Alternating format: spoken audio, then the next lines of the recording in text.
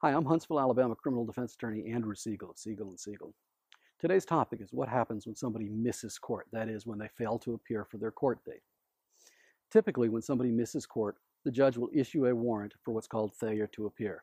It also can result in additional criminal charges of bail jumping. I don't see that that often, but that is a possibility, and the person could then find themselves facing an additional criminal case.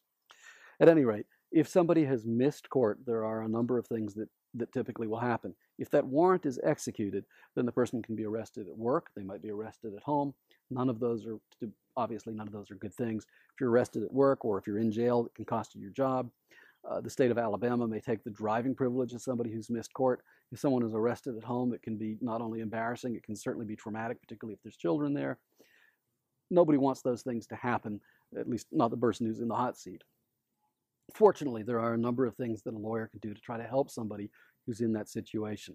And that's part of the purpose of this video is to talk about the ways that we can help someone. If someone has missed court, the smartest thing is to talk to an attorney as quickly as they possibly can. This is one of those situations where the faster you act, the more likely it is that you will get a favorable result. It's not to say that a lawyer can't help you if it's been a while, but the sooner the better on this kind of situation. If somebody has just recently missed court and the judge has not yet issued a warrant for that person's arrest, it may be as simple as the lawyer calling the, either the judge's office, the clerk's office, and saying, gee, my client got their times mixed up. Can we have the case recalled at some point, you know, maybe the next day or something like that? And sometimes that can be done. If the judge has already issued an arrest warrant, then the lawyer can ask that the judge withdraw the arrest warrant. And typically, a lawyer will file a motion with the court saying, Judge, my client missed court. Here's the reasons and if you would, please, or, or here's the reasons that you ought to reset a bond for my client.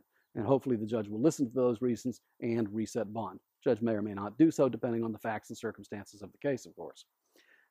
If the person has already been arrested and they're in jail, or if the judge has denied the motion to withdraw the warrant, that doesn't mean that, that the case is hopeless. There's still things a lawyer can try to do to help the person.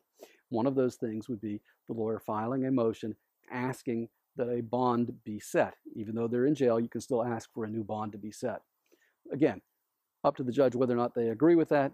If the judge does, then the person would have to post a new bond and they could show up for court. If the judge doesn't, then they're going to be stuck in jail until the time of their court date. If that happens, the best thing a lawyer can do is try to get the case to court as quickly as possible and hopefully reach a favorable resolution for their client.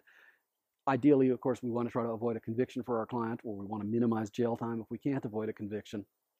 But at any rate, if you or somebody you love has missed court, you really need to talk to an attorney as quickly as possible. Obviously, if you have your own attorney, you need to call them right away. If you're looking to uh, obtain an attorney, you can give us a call at Segal and Segal. Our number is 256 533 4529. We're always happy to help. When you call us, any consultation that you have with us, the first consultation is free, and anything you say to us is confidential. I hope this has been helpful to you. Thank you for watching.